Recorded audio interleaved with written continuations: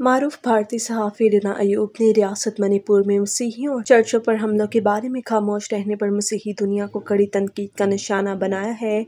Kashmir media service के मुताबिक रिना अयूब ने एक ट्विटर पैगाम में कहा है कि मणिपुर में जो कुछ हो रहा है, वो नज़रों में नहीं आ रहा। मसीही दुनिया भी इससे लाताल्लुक है क्योंकि भारत इसे महज नस्ली तशद के तौर पर ज़ाहिर करने में कामयाब हो गया है और ये एक खुली पर्दापोशी है। उन्होंने लिखा है कि सिर्फ़ पाकिस्तान ही इसे भरपूर भरपूर तरीके से उठा सकता है और इसे उसके असल तनासर में पेश कर सकता है। दरें असना, मणिपुर के दारकूमत अम्फाल के आर्च बिशप ने एक ट्वीट में कहा है कि मणिपुर में अब तक दो सौ उनचास गिरजाघरों को जलाया गया।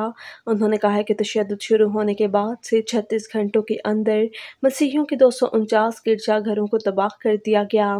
मणिपुर में मेती और कोकी बरदरियों के दरमियान तीन मई से कशीदगी का सिलसिला जारी है। पुरतशद कार्रवाइयों में अब तक सौ से जायद अफराद हलाक हो चुके हैं। एक लाख के लगभग लोग बेघर हो चुके हैं।